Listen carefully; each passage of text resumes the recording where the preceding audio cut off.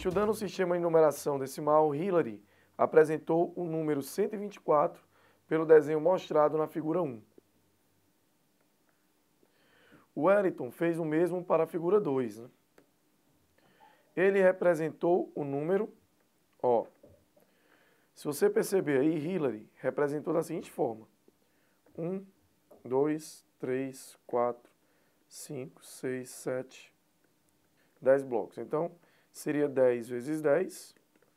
Aqui você tem 10 blocos, mais 10, vezes 2, né? Mais 4 blocos aqui, ó. Então, você vai ter 100, mais 20, mais 4, que nos dá os 124, ok? Já o Wellington fez o seguinte. 1, 2, 3, 4. Mesma ideia dela. 10 na vertical, 10 na horizontal. Ok? Então, como que vai ficar isso daí? Certo? Vamos lá. Vai ficar 10 vezes 10. Só que perceba que são dois blocos. O segundo bloco aqui por trás, né? Então, vezes 2. Mais, aqui você tem duas colunas aqui, né? Ó. Então vai ficar duas vezes 10. Porém, você vai ter três desses blocos, ó.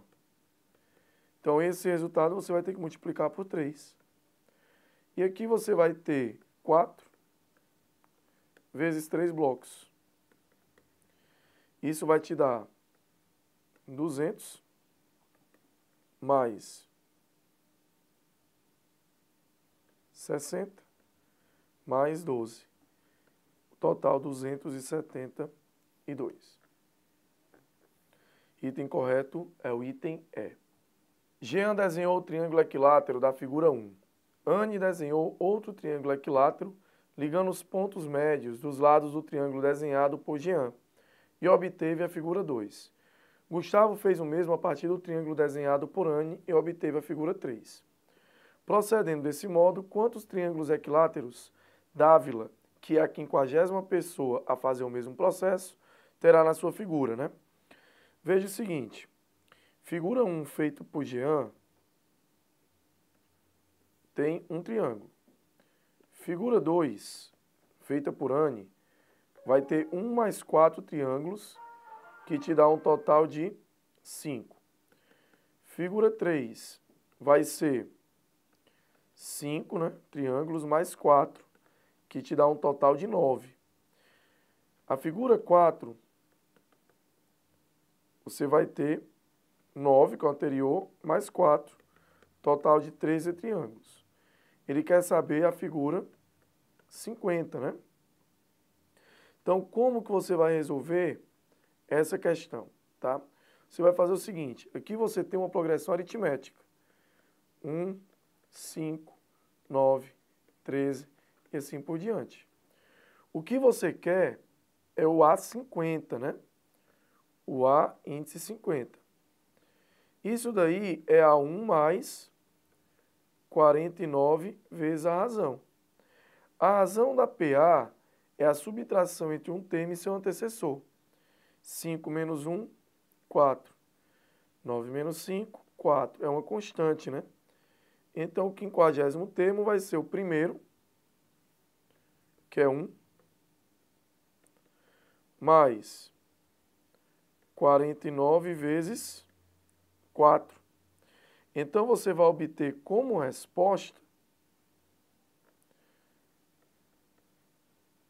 certo? É 197 triângulos, ok? Item correto é o item D, ok? Na empresa Multinúmeros, todos os funcionários são etiquetados com o um número de cinco algarismos pelo setor de recursos humanos. A gerente da empresa precisa encontrar o número de alguns funcionários para convocá-los para uma reunião. Passando pelo refeitório por distração, deixou que caísse café sobre a folha que continha os números dos funcionários. Entretanto, ainda restaram três algarismos que podem ajudar a determinar tais números, como mostra a figura abaixo. Sabendo que esses números têm as seguintes características, são divisíveis por 2 e por 3, o valor substituído na quadrícula das centenas e das unidades é igual. Determine a soma dos números dos possíveis funcionários que participaram da reunião com a gerente da empresa de multinúmeros.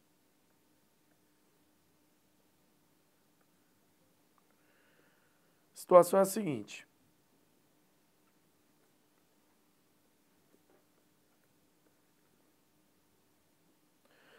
Primeira coisa, né? Os algarismos devem ser pares e a soma dos seus valores, né, no caso aí absolutos, tem que ser um múltiplo de 3, obviamente. Então você já tem na questão o 6, o 0, x, o 3 e o x, ok? O que é que vai acontecer? Tá? É, eu só vou ter aí duas situações. A primeira é o x sendo 0, porque você vai ter 6 mais 3, 9, e quando 9 é divisível por 3, então o número todo será, né? E a segunda situação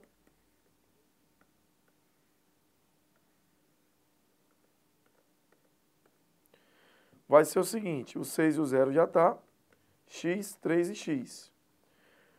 É, você teria que ter aí, teria que obter o x sendo 6. Porque quando você somar 6 mais 6, 12. Mais 6, 18, né? Mais 3, 21.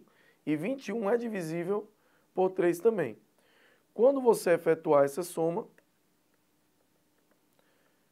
60.030 mais 636, né? Você vai obter como resposta 120 mil 666. O item correto, então, seria o item B.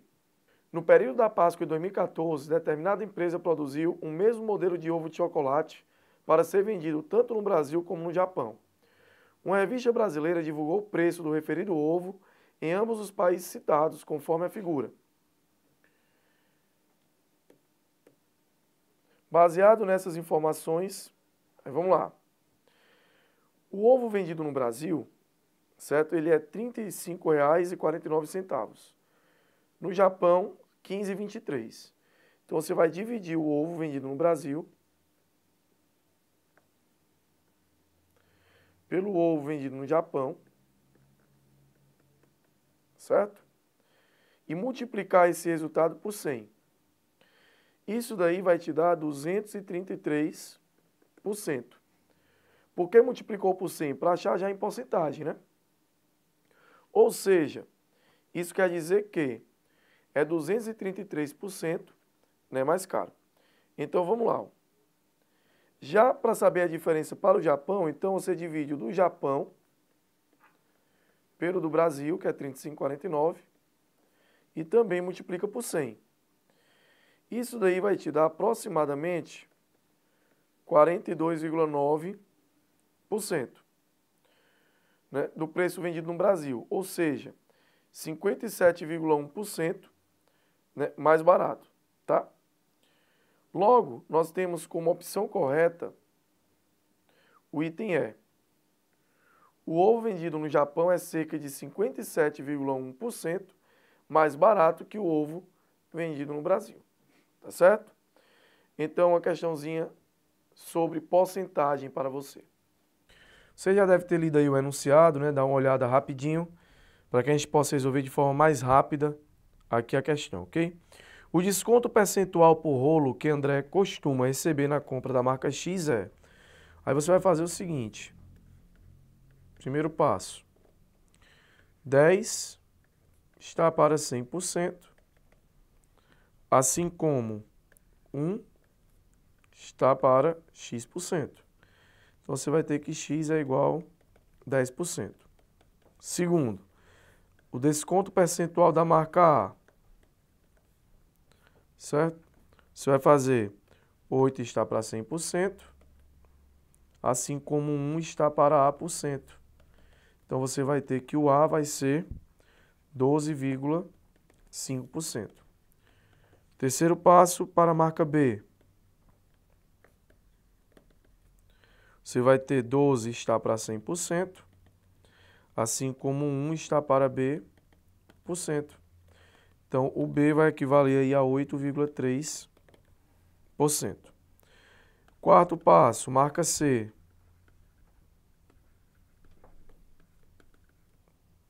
Você vai ter 16 está para 100%, assim como 1 está para C%. Daí você vai ter C sendo 6,5%, ok? Os descontos percentuais, então, tá? São de 10, 12,5, ó, 10, 12,5, 8,3 e 6,25. O maior desconto é o desconto da marca A. Logo, o item correto é o item A. Comprar o papel da marca A, pois é mais vantajoso das três, uma vez que o desconto por rolo é de 12,5%. Toras de madeira com formato de cilindro circular reto são utilizadas como base para bancos de alguns parques ecológicos. Aí ele dá aí a figura, né, na questão. Deseja-se modificar essas bases de modo que o raio da base do cilindro seja reduzido pela metade e a altura duplicada. Com essas alterações, o volume do cilindro é. O que você tem que entender aqui é o seguinte, que o volume de um cilindro é a área da base vezes a altura, ou seja, π r ao quadrado vezes h, ok? O raio do cilindro ele disse que vai ser reduzido pela metade. Então, o que, que vai acontecer? Ó? Chamar de volume 2 essa nova situação. O novo volume passa a ser π, o raio é r sobre 2, aí fica ao quadrado, vezes a altura que dobrou, né? 2h. Então, esse segundo volume vai ser π vezes r ao quadrado sobre 4 vezes 2H. Então, esse segundo volume vai ser π R ao quadrado H sobre 2. Porém, π R ao quadrado H é o primeiro volume, né? Então, o volume 2 vai ser volume 1 dividido por 2, a metade, ok? Se a metade é porque foi reduzido em 50%. Item correto, item A.